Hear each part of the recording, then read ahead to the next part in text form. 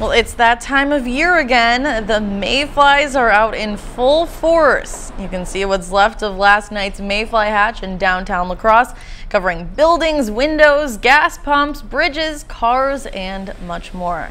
And La Crosse, Crescent people even pressure washing buildings trying to get those summertime pests off.